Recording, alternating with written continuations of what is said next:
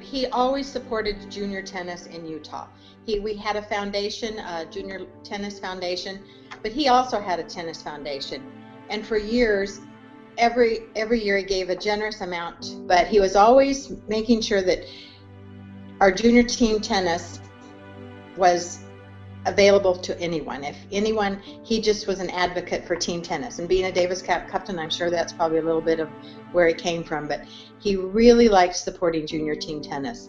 In the afternoons until into the fall, teaching young people how to play tennis.